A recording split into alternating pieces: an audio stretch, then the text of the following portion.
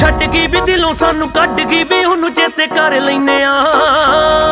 ਜਿਹੜੀ ਮਾਰਦੀ ਰਹੀ ਸੀ ਗੱਲਾਂ ਮਿੱਠੀਆਂ, ਉਹ ਕਦੇ ਕਦੇ ਪੜ ਲੈਨੇ ਆ। ਉਹ ਭੇਜਦੀ ਹੁੰਦੀ ਸੀ ਚੁੰਮ ਚੁੰਮ ਕੇ, ਉਹ ਰਹਿ ਗਏ ਨੇ ਸਹਾਰੇ ਯਾਰ ਦੇ।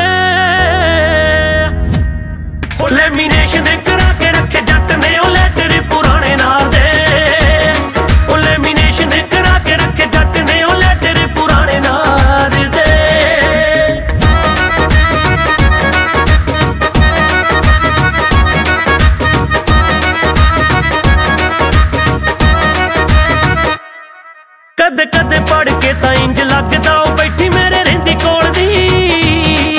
ਪਰ ਬਹੁਤੀ ਵਾਰੀ ਲੱਗਦਾ ਸੀ ਕਿੰਨੀ ਉਹ ਸਫ਼ਾਈ ਨਾਲ ਝੂਠ ਬੋਲਦੀ। ਪਰ ਬਹੁਤੀ ਵਾਰੀ ਲੱਗਦਾ ਸੀ ਕਿੰਨੀ ਉਹ ਸਫ਼ਾਈ ਨਾਲ ਝੂਠ ਬੋਲਦੀ।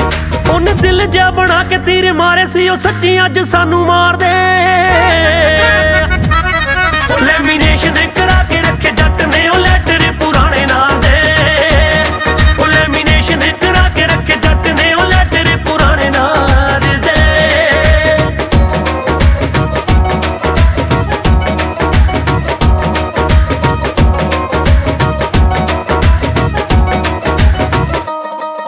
ਸਮਾਂ ਭੁੱਲੇ ਨਾ ਪੁਰਾਣਾ, ਜਦੋਂ ਪਹਿਲੀ ਵਾਰੀ ਖੱਤ ਨਾ ਮਿਲਾਏ ਖੱਤ ਸੀ, ਉਹ ਵੀ ਹੀਰਾਂ ਦੀ ਕਤਾਰ ਵਿੱਚ ਆਉਂਦੀ ਸੀ ਤੇ ਮੇਰੀ ਜਾਜੀ ਆਉਂਦਾ। ਜੱਟ ਸੀ, ਉਹ ਵੀ ਹੀਰਾਂ ਦੀ ਕਤਾਰ ਵਿੱਚ ਆਉਂਦੀ ਸੀ ਤੇ ਮੇਰੀ ਜਾਜੀ ਆਉਂਦਾ।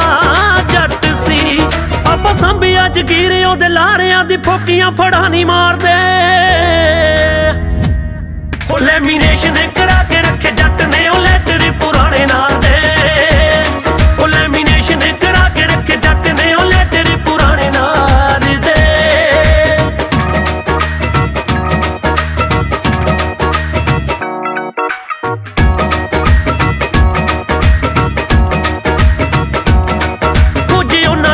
ਆਪੇ ਉਹਨੇ ਲਿਖੇ ਕੁਝ ਸਖੀ ਤੋਂ ਲਿਖਾਏ ਹੁੰਦੇ ਸੀ। ਬਾਕੀ ਮਿੱਤਰਾਂ ਨੇ ਬੰਬੀ ਵਾਲੇ ਗਾਡਰ 'ਚ ਸੁੱਖ ਨਾ ਲੁਕਾਏ ਹੁੰਦੇ ਸੀ।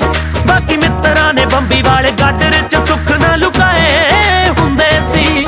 ਗਾਣੇ ਕੁਝ ਸੱਟ ਮਾਰਦੇ ਆ ਕਾਬਲ ਸਰੂਪ ਵਾਲੇ ਗੀਤਕਾਰ ਦੇ। ਲੈਮੀਨੇਸ਼ਨ